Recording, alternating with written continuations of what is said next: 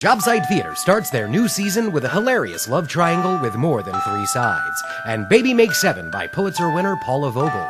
Denver Westword calls it a comic fairy tale, and the Austin Ledger says prepare to be enchanted seven times. And Baby Makes Seven at the Tampa Bay Performing Arts Center. Call 813-229-STAR or visit jobsitetheater.org.